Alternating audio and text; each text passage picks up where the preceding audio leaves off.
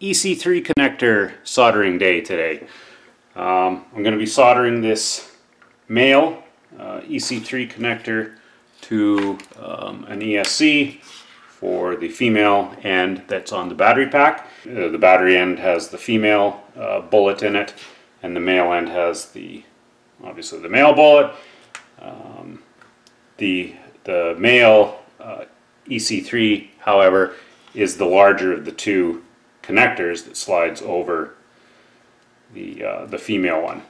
Um, and this is exactly the same, same procedure here if you were doing the larger EC5 uh, connectors or the little tiny EC2s. Uh, this is the same thing, they all use the bullets that snap into the connectors. No heat shrink is required for insulation uh, because the connect uh, the, the pin is nicely um, recessed inside the connector and no exposed wiring should be showing. So what I like to do with these, um, here's our male pin. Um, I like to insert it into a female pin and then mount it in something to hold it nice and sturdy. I use my little drill press vise here. You could use anything. The drill press vise though has got lots of mass so it holds things really steady. I usually mount the pin kind of angled at a 45 degree angle and that way the solder won't flow out. Now I'm using my soldering uh, iron for this, for my soldering station. This is a 70 watt station.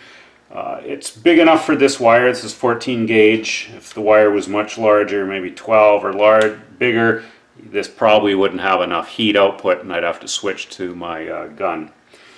Uh, so the first thing I like to do is fill the little pin up, probably about halfway with solder. Don't know if I mentioned, but I've got the soldering station here set to 400 Celsius, which is quite a bit warmer than normal. I have usually around 350 for soldering, you know, circuit boards and stuff. But again, this is going to be pulling a lot of heat out of the iron. So I've set it uh, hotter than normal. So there we filled it, you know, about halfway up. It's got a nice layer of rosin in it. This is a, a 6040 again, rosin core solder. Um, now, here's our ESC. Doesn't really matter which pin you do first. Um, again, the importance of having a good tinned uh, wire end is critical here. You want the solder to have penetrated well into all the strands so you've got a good strong mechanical connection when you make it, not just electrical connection. As far as the distance on the wire uh, that you want stripped and tinned, uh, you basically want it so all that, all this, all, all the tinned end completely bottoms out and disappears into the pin. if you can see that, I'll try to see if we can focus in on here. But just long enough so it bottoms out in the pin and the insulation comes pretty much to the end of the, uh, the pin. And that, because if the insulation was back any further, then you'd have exposed wiring out the end of your connector. So short potential. So now that we've got that in there, uh, I'm just going to add a little more solder to the uh, to the wire here. Again, if you have solder on the tip, between the tip and the component, you've got better heat transfer. So there, we've got a nice little dollop of solder on the wire and inside the pin. Keep our tip clean. And we'll just put it in and apply heat. And as I'm doing this, I'm pushing down on the wire, not too hard, but just enough so as the heat migrates through the wire into the solder in the pin, it will drop in.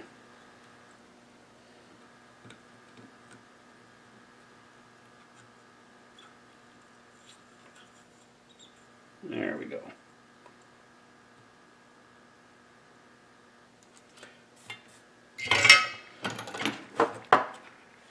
Now, there's a problem here. I don't know if you can see that, but I've got a little dollop of solder on the edge of the pin. Uh, it's not in this little this little recess in the center of the pin, which is good because that's what locks the pin into the housing.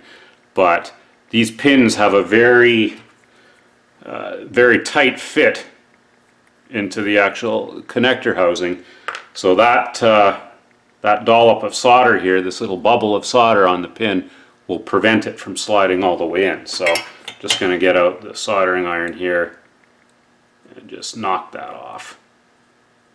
Just melt that off, spread it. There. Now, while this is still warm, oh, and there's some rosin on on here. You might want to wipe that off. Get some ooh, get some electrical contact cleaner or something. Isopropanol will work.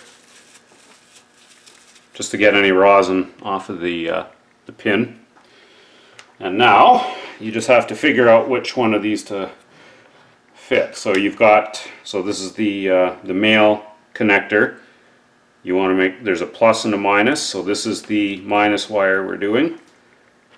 And we're just to push it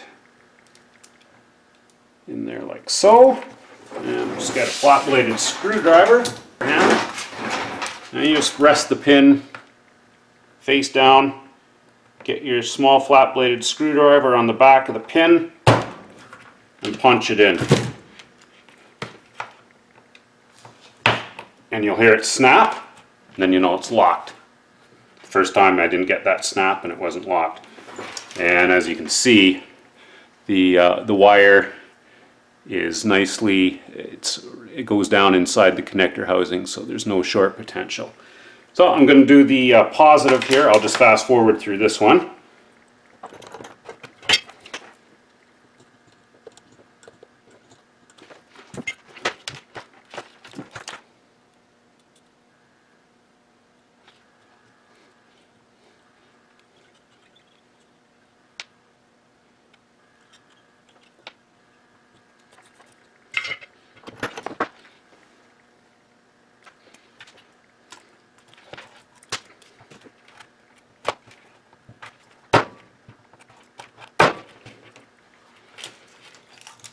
And there we go, that one's done too. Pins, wires nicely recessed down inside the connector. Actually, the black one isn't all the way down yet. There we go. Now, when you see them, the, the end of the pin should be almost flush with the end of the connector. So that's another way to tell you've got them locked in place. And then, yeah, give them a good yank. Double check the positives going to the positive of the connector housing, uh, negative to the negative.